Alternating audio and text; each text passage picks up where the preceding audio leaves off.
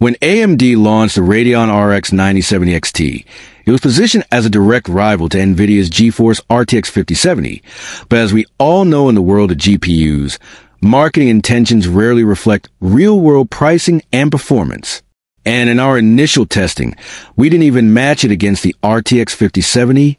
Instead, we went head-to-head with the more powerful 5070 Ti. And yes, some were upset by that, but we had a reason. At launch, AMD's car was priced closer to the Ti, and we were curious to see how it held up under pressure. The result? The Radeon came in just 5% slower in raw performance, but it was about 17% cheaper when you looked at actual retail prices, not just MSRP. But now the time has come for the true showdown you've been waiting for. The RX 9070 XT versus the RTX 5070. And things have changed a lot since our last round of tests with 57 games now benchmarked at both 1440p and 4K resolutions, plus updated drivers from both AMD and NVIDIA tweaking performance across the board. One of the biggest surprises isn't the frame rates, it's the pricing. The RTX 5070 is finally settling near its MSRP, currently hovering around $610, while the 5070 Ti is floating at about $825. But the Radeon 9070 XT, it's gone the opposite direction now selling for a whopping $860 in the US. That's 41% more than the RTX 5070 and even more expensive than the faster 5070 Ti. That's a major twist, and it doesn't end there, because globally, the price gap persists. In Germany, the 9070 XT is 745 euros, 11% cheaper than the 5070 Ti, but 26% more expensive than the 5070. In Canada, it costs 1,100 Canadian dollars, making it 12% cheaper than the Ti, but 34% more than the 5,070. And in Australia, where local MSRP is being met, the Radeon GPU costs 1,300 Australian dollars, 14% cheaper than the Ti, but still 18% more expensive than the RTX 5070. That means across the board, the RX 9070 XT costs 41% more than the 5070 in the US, 34% more in Canada, 26% more in Germany, and 18% more in Australia, even though it performs worse than the Ti and only slightly better than the 5070.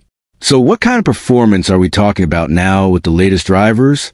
Let's start with Call of Duty, Black Ops 6, one of the standout titles from our benchmark suite with a 9070 XT saw a 14% uplift at 1440p and 9% at 4K since our last test, putting ahead of both the RTX 5070 and the Ti in this specific game, showing a massive 68% lead at 1440p and 70% at 4K compared to the standard 5070.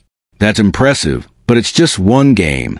Across all 57 games, performance margins were far less dramatic, with the RX 9070 XT holding only a modest lead on average over the 5070, while still falling behind the 5070 Ti, which makes the price premium even harder to justify.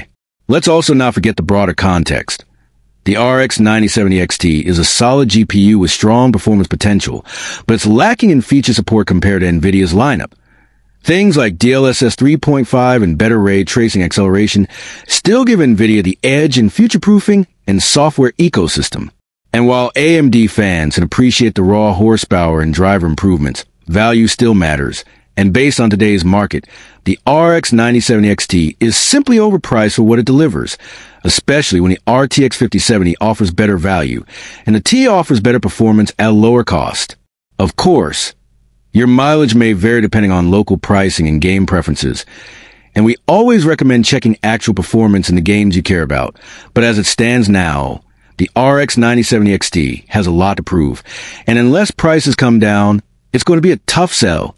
But don't worry.